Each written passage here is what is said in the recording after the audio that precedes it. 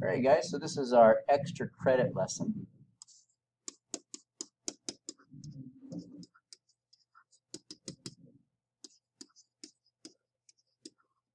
And we'll call it lesson, let's see, we're on 5.1b. Alright, so it's basically kind of like a glorified form of the stuff that we learned in lesson 5.1. Um, so within this video, you're going to get 10 points if you just take the notes. You'll also get 10 points for doing the exercises. Okay? And both of those will just go in as homework points. Um, also, some of it will appear on the test next time as an extra credit test question as well. So let's talk about what this lesson is going to be all about. We're going to learn basically a shortcut for multiplying binomials or for multiplying binomials of the form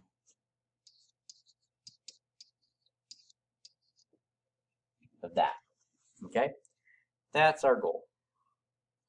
Now, the shortcut itself is pretty long, but without the shortcut, trust me, the, uh, the alternative is even longer. So the shortcut, even though it's a little bit long, is still, believe it or not, a shortcut.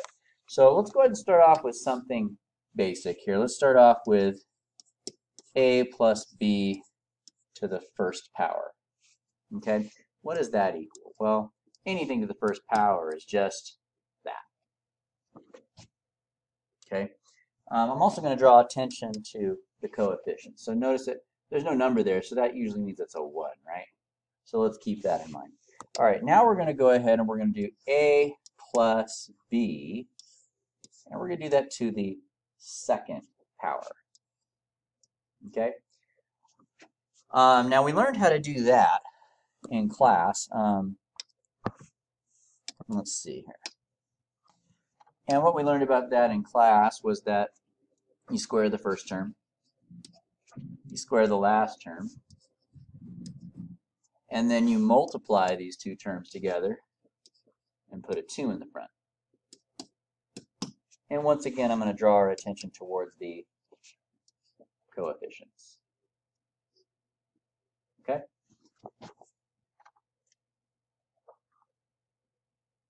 Um, retrospect, I think I want to throw something else on here if I can. Let's see if I can do that. Bring this down a little bit. Um, I'm going to go backwards actually. Let's do a plus b to the zero power. Now this is something that we haven't talked about in this class very much, but for now I'm just going to say go ahead and take my word for it. Anything to the zero power equals 1. So it doesn't matter what's in here. If you raise it to the zero power, it's 1. There's one exception to that, and that's if what's in here is 0, but in this case, that's not what we're looking at. We're looking at A and B. So we'll go ahead and ignore that. Um, all right, so let's go ahead and do one more step forward, though. And what we're doing is we're just going to stop after this one, and we're going to look for a pattern. Because after this one, it gets to be a little bit tedious. But the pattern is what we're going to really try to draw out of this. So let's go ahead and do a plus b to the third power. Okay, I'm going to do that one on a new piece of paper, a new slide here.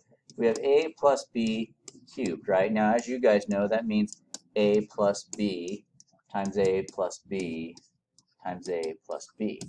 Now, we just did this one before that. a plus b times a plus b. Isn't that a plus b squared? Right? And we already know what that one is that was a squared plus 2ab plus b squared, right? So that means we just need to multiply that by a plus b now. And so we're going to go ahead and use our handy dandy box method for this.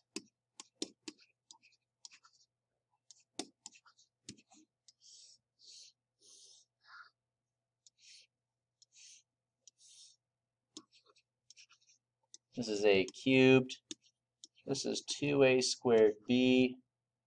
This is ab squared. This is a squared b. This is 2ab squared. And this is b cubed. And our like terms are on the diagonal. Once again, we have coefficients here, right? So 1 and 2 make 3. So we have a cubed to begin with, plus 2 and 1 makes 3, right? Then we'll combine these like terms, a and b squared, a and b squared. 2 and 1 makes 3. And then finally we have b cubed. So that. So let's back it up a little bit and write that one down. So we have a cubed plus, uh, was 3, right? It was 3 a squared b plus 3ab squared plus b cubed. And once again, I want to draw our attention to the coefficients. Okay? Now here's here's the first thing I, I want you guys to notice. There's there's two patterns here. Or maybe maybe three patterns that we want to take note of.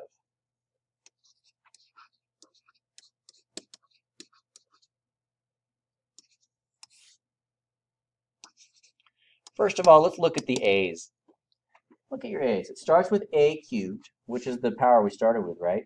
And after that, every time it goes down by one. Three, two, one, and then none. Or you could say zero. The same thing's true up here. Two, we start off with that power there, right? Two, one, none. Start off with one, right? So A to the first, no A, and then zero. So we have this pattern where if you have a plus b to the nth power, whatever that power may be, it always starts with n, and then it goes down by one power every time.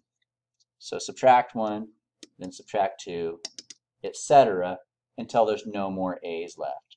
Let's take a look at the b's. The b's actually do the same exact thing, but on the opposite end. It starts at 3, then it goes down to 2, then 1, then none. So it starts at b to the n on that side, and then it goes down in this direction, etc. Right? The final pattern is for the coefficients, the numbers in front, and that one's really kind of complicated. But for that, I'm just going to write something which you don't know what it means yet, but you will in a minute. We're going to call it Pascal's triangle. Okay? Pascal's triangle. So let me show you what Pascal's triangle is. Um, I'm going to come back up here now, and I'm going to erase all this stuff. But I'm going to leave the coefficients. It's a little bit hard to see the pattern that's happening with the coefficients with all this other stuff there. So I'm just going to erase all the variables and their powers and the pluses until I have just those coefficients left. Now, there's a pattern going on there. Okay, First of all, you'll notice it always starts with 1. Okay? The next thing you'll notice is this number here, you can think of that in two ways. One way is that number is basically this number here, right? 2, 2, or 3, 3. So the second number is always going to match your power. But here's a better way to think about it. This number is always the 2 above it added together. Like 1 plus 1 is 2, right? Check this out. 1 plus 2 is 3. 2 plus 1 is 3. Now why is that helpful to us? Because that makes it a lot easier to get the next one. Like what if I wanted to do the next row? Like let's say I wanted to do a plus b to the fourth power. Well, I don't have to multiply all this out right now to get what I need. I know it's going to start with 1. And then I know the next number is going to be this plus the 3, which is 4. The next number is going to be this plus this, which is 6. This one's going to be this plus this, which is 4. And then when there's nothing else to add the, last number to here, we just know it's going to end in a 1. So I already know what the coefficients are going to be.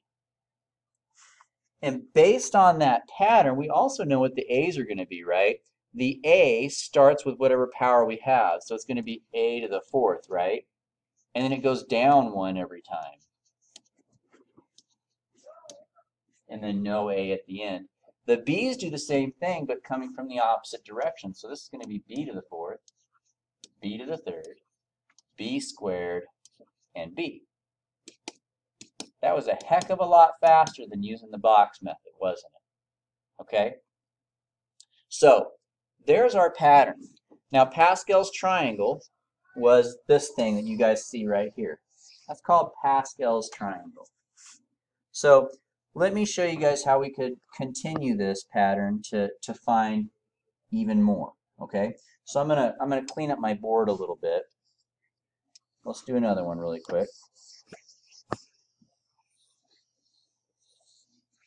I'm gonna clean that up. All right. So where we left off with was a plus b to the fourth power, right? And we know that it was 1, 4, 6, 4, 1. So here's what I'm going to encourage you guys to do, is I want you guys to, you don't have to, I can't make you, but I would like you to pause the video and see if you can find the numbers that go in this next row. Here's what you guys should have gotten. Ready?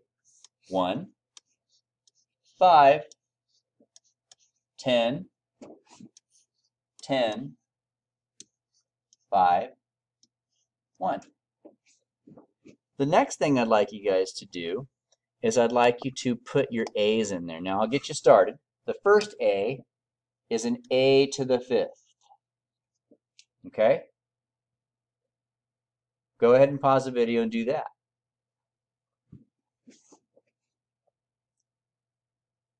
So this is what you guys should have gotten.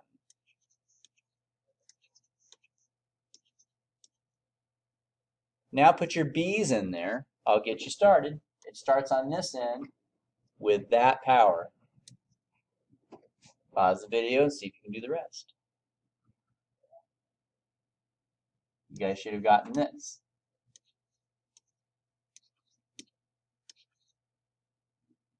And then, of course, we connect them all with pluses at the end, right? There you go. I'm going to go ahead and just leave our purple marks in there, and then we're going to leave the red. I'm going to, now this time I want you guys to do the next one. I want you guys to do a plus b to the sixth power completely on your own. Pause the video and see what you guys get. Do all the coefficients and all the letters. And that's what you guys should have gotten there. Your coefficients should have been 1, 6, 15, 20, 15, 6, 1. Your A's should have started with a 6 power and went down by 1 every time. And your B's should have started with a 6 power on the other end and went down by 1 as we go to the left. And there's your answer. So as you guys can see, it's still a little bit of work, but it's a heck of a lot faster than trying to FOIL everything out. Okay? Okay, so now we know how to do a plus b to any power, right? So if I was to throw at you guys, do a plus b to the ninth, here's how you would go about it. Now you guys already have a lot of the work done on your notes so far, but let's just pretend we were starting from scratch. If I saw this, I would think, okay, I would start with this, one, one, I would just start doing Pascal's triangle.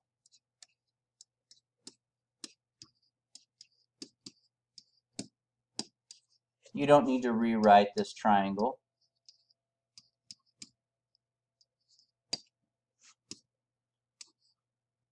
Uh, 6 that's 21, 35, 35, I believe, 21, and then 1.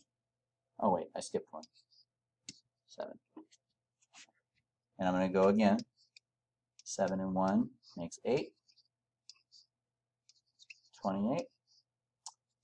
56. 70. 56. You also notice there's a pattern here in the fact that it's symmetrical.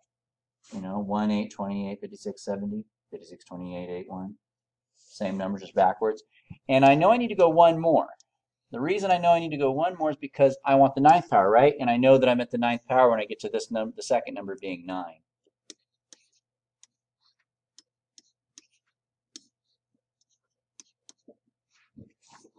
So this is a lot of work, granted, and maybe for you guys adding might not be as quick as it is I'm doing here on the board, or maybe it is, or maybe you're faster, who knows, but there you go. So I know that. So now that I've got my coefficients, I don't really have enough space here, it's kind of tight, so what I would do is I would start like this, I would just go 1, a to the ninth, plus 9, you know, the a is going to go down by a power, and then it's going to start with b to the first. A goes down a power, B comes up one, and so on.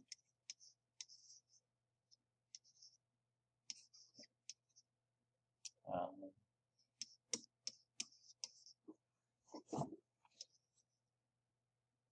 A goes down a power, B comes up one. A goes down a power, B comes up one. And I'm out of space, so I'm just going to put dot, dot, dot. But you guys have the idea. Now, that's the, that's the first part of our lesson. Just want to let you guys understand what Pascal's triangle is. Okay, it's this giant thing here. And it just goes on forever. You just go as far as you need to. I also want you guys to be aware of the pattern with the exponents and whatnot. But what about when it's not A and B anymore? What about whenever it's something else, like x plus 3? Okay? And let's say I want to do x plus 3 to the fourth power. Okay? So, we'll call this example 1. And this is what your exercises will look like, okay? So let's do example one. Okay, so let's go ahead and take a look at Pascal's triangle. Now, I've done this a lot, so i am just going to go ahead and cheat and go back to Pascal's triangle. And since I want to do um, to the fourth power, I know that I want to look at the fourth row, which is right there. Okay, I know that's the fourth power of 1 because the second number starts with 4, right? So it's 1, 4, 6, 4, 1. Okay? So I'm going to write that out. 1, I'm going to leave a little bit of space. 4, 6, 4, and 1. I know that those are going to be my coefficients. The next thing I'm going to do is I'm going to start with my x. I'm going to make it x to the fourth. And then I'm just going to go down one every time. x third, x squared, x. Last one does not have an x. And then I'm going to start with this guy here, the 3, but I'm going to start with that on the other end.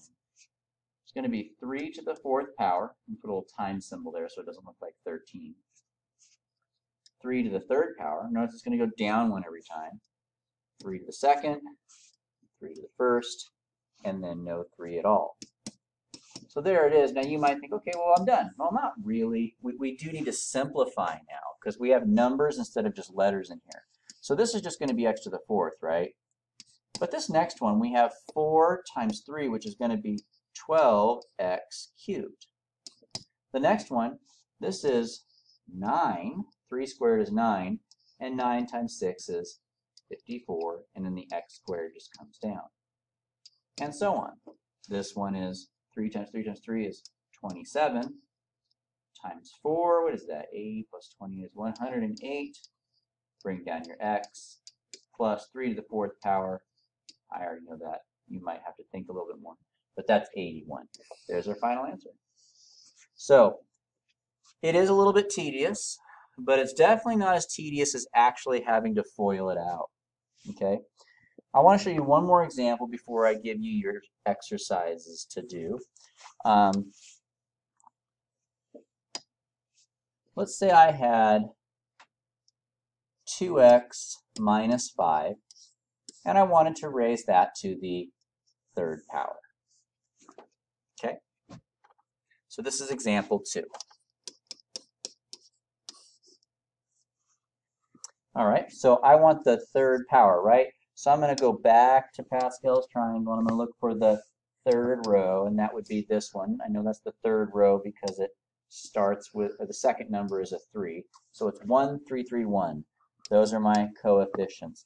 So I'm going to start off with 1, 3, 3, and 1. Then I'm going to take my first number here, 2x, I'm going to raise it to the third power. I'm going to use parentheses though, just so I don't forget I'm raising this whole thing to the third power, not just the x. So that's why you want to use parentheses. Then the 2x is going to go down by a power every time after that. And then the last one will have a 2x. Then we repeat. Now this is something new, so pay close attention to this. I'm going to start on this end with the second number, but notice this time I'm not going to put just 5. I'm actually going to put negative 5 because it's a minus, and that matters. And once again, I'm going to say put that in parentheses. So I'm going to start with negative 5 to the third power. And then it's going to be negative 5 to the second power. And then it's going to be negative 5 to the first power, and then no negative 5 at all. We'll put our pluses in there. Okay. So let's go ahead and work this one out. Now 2x to the third power. Now if you need me to show you that, I'll show you. But it means you're doing this. Now 2 times 2 times 2 is 8, and x times x times x is x to the third.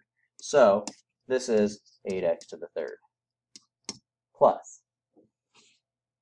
Now this one we have 2x squared. That would be 4x squared if you square it. Then we have 3, and negative 5 to the first power is negative 5. So 3 times 4 is 12, and 12 times negative 5 is negative 60x squared. So we multiply all these numbers together. Continue the process. We have 3, 2x, negative 5 squared is going to be a positive 25. Squares cancel out negatives. So that's going to be 6 times 25. What would that be? 150. Last one.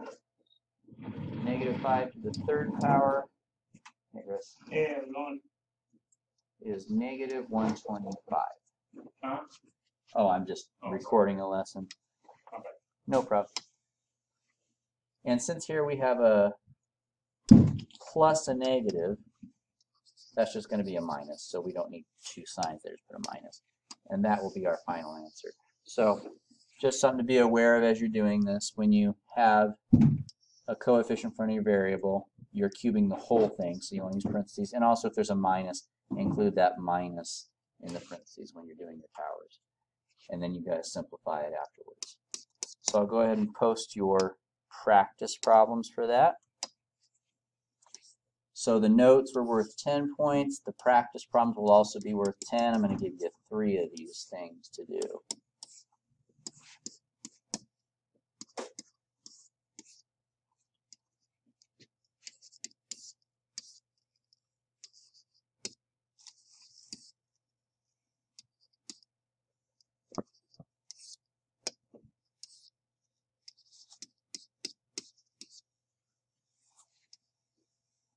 Mm, I'll switch these.